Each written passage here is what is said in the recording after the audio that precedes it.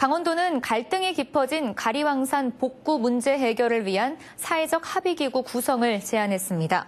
최문순 지사는 한금석 도의회 의장과 허영 더불어민주당 강원도당 위원장과 함께 도청에서 기자회견을 하고 가리왕산 알파인 경기장의 산림 전면 복원이나 곤돌라 등 일부 시설 존치 문제를 해결할 사회적 합의기구 구성을 제안했습니다.